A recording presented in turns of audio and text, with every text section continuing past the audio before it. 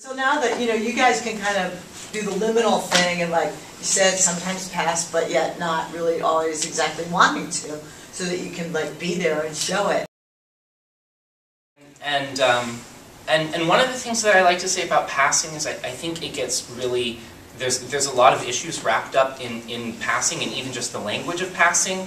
And the, the reframe I like to use is a lot of people think about like trans women passing as women.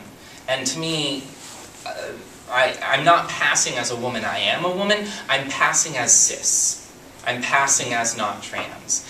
And, and so, you know, I, I definitely like being in spaces where it's okay for me to be seen as trans, and that's not a problem.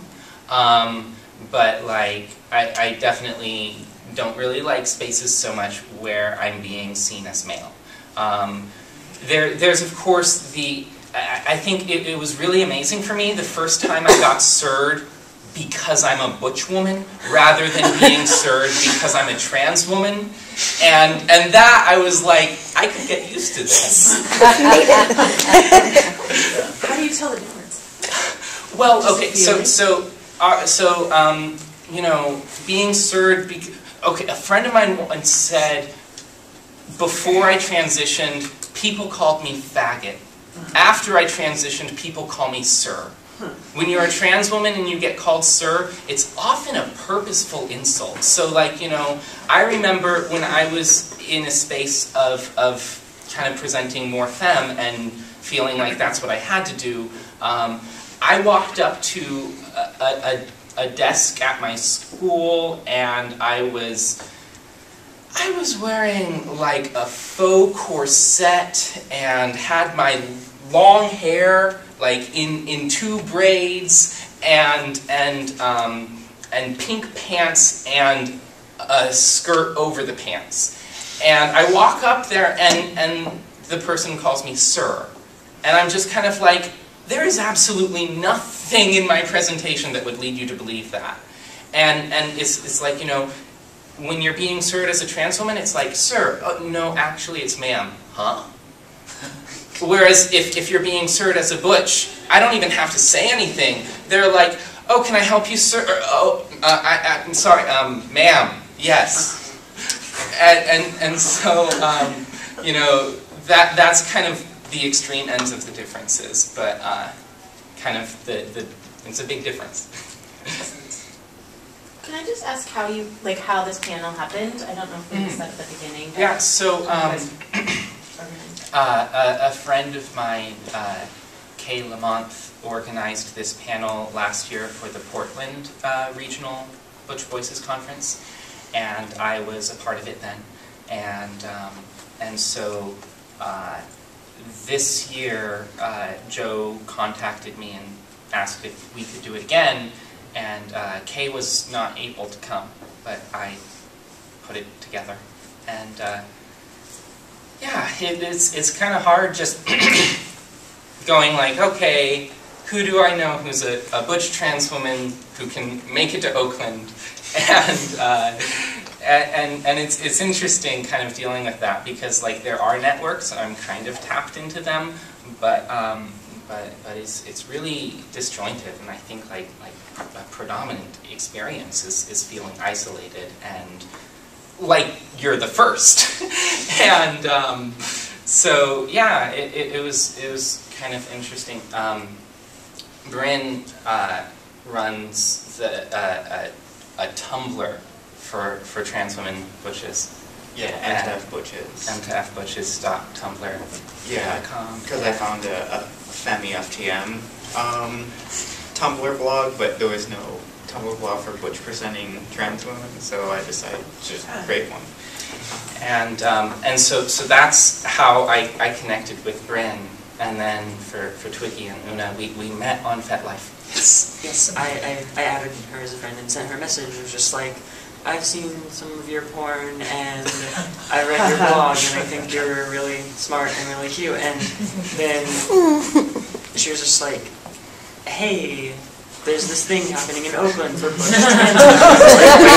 there are things for butch trans women. That's not real. there's like nine of us that, and we don't get anything good. And so, but she was just like, come to this panel, and I was, and I was just like, okay. And Oona's my partner, and uh, Tobi invited both of us at the same time. And that's how that's how we got here. Speaking of getting hit on in in strange ways relating to, to gender, um, this is not not so much gender, but I was in class. I I've just started um, started classes again this semester after a um, break. I was in class and we were doing this exercise where we it was an intro to LGBT studies class, and we were doing this exercise where we um, everyone in class um, paired up with the person next to them and interviewed each other, and then introduced the other person to the class. And one of the things that I told this guy to to say um, at like near the end of our interview was just like, um, oh yeah, and I'm a dyke, and like showed him my tattoo, which says dyke.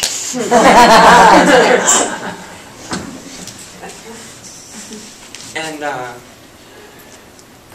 he's going through the list of things that we talked about, talking about my my major and how I'm from Indiana, and then he says, and in addition to having gorgeous eyes, she has a tattoo on her stomach that says Dyke. I was just like, mm, this is such a non-compliment. Yeah, It's just like, you know I'm a dyke. You know it's tattooed on me. Why are you hitting on me, straight dude that's 10 years older than me? It's just very strange. I'm wondering if you get hit on a lot by the uh, femme, gay male.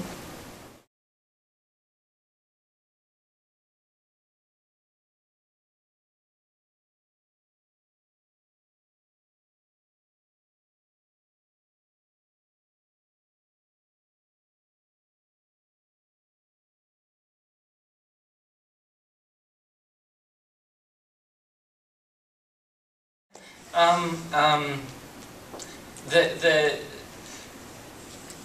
when that has happened, it has been femme gay trans men who are really kind of like, I get the sense you're a dyke, I don't know if it's okay, but, and, and, and I've actually had a couple of, of like, like on a Kinsey scale, I, I kind of place myself as a five, and it's kind of hilarious to me that the only guys I've hooked up with have also been Kinsey fives, and um, and and I've, I've had that dynamic happen um, in a very positive way, um, but mm, yeah, it's it's pretty much just been um, trans men who fit that um, description.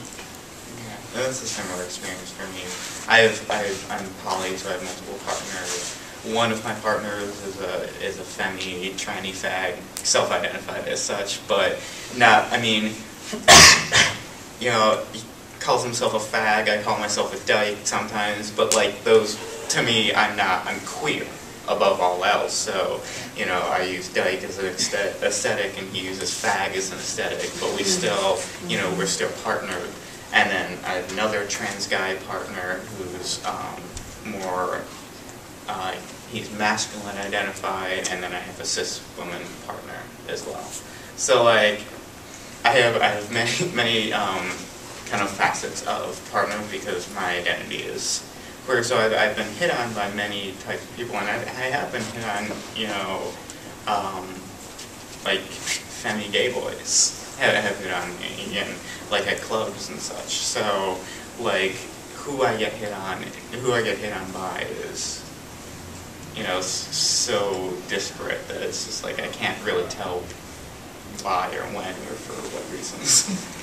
Yeah, actually, um, I occasionally get hit on by um, femme guys, but they're usually queer and not gay identified. Um, one of the people I'm dating is a, a queer femme guy, um,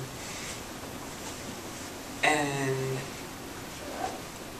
uh, I was playing with him last night at the Citadel, which is a, a BDSM dungeon, and um, I was doing a rare thing where I'm, I was I was bottoming, and he, I was on a wooden, a big wooden X, um, restrained, yeah, St. John's Cross, um, and there was a mirror on the wall, and I, I looked back and saw him holding a flogger, like standing like this. And I was just, I just looked back and I was just like, you know, you hold a flogger like a fag, and he was just like, yeah, well you take it like a dyke, and just like, what was under your thing? I'm sorry.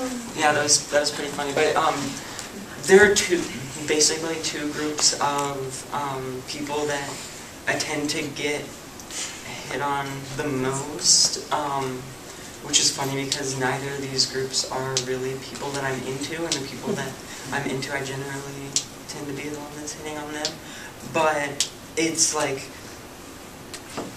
older straight men who are like twice my age, um, or like 10 years older than me that hit on me in creepy predatory ways and just somehow don't think that like the, that I have a dyke tattoo because I'm not into like men that are 10 20 years older than me.